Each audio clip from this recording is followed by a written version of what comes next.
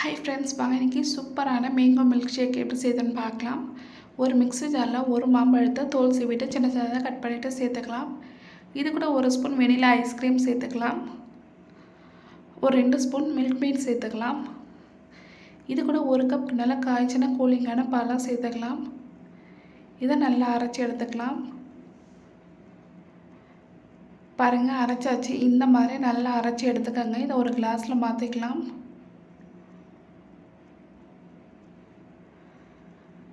இது கூட ஒரு ஸ்பூன் வெண்ணிலா ஐஸ்கிரீம் சேர்த்துக்கலாம். நீங்கள் மேங்கோ ஐஸ்கிரீம் கூட சேர்த்துக்கலாம். ரொம்ப நல்லாயிருக்கும் கொஞ்சமாக மாம்பழத்தை சின்னதாக கட் பண்ணிவிட்டு சேர்த்துக்கலாம்.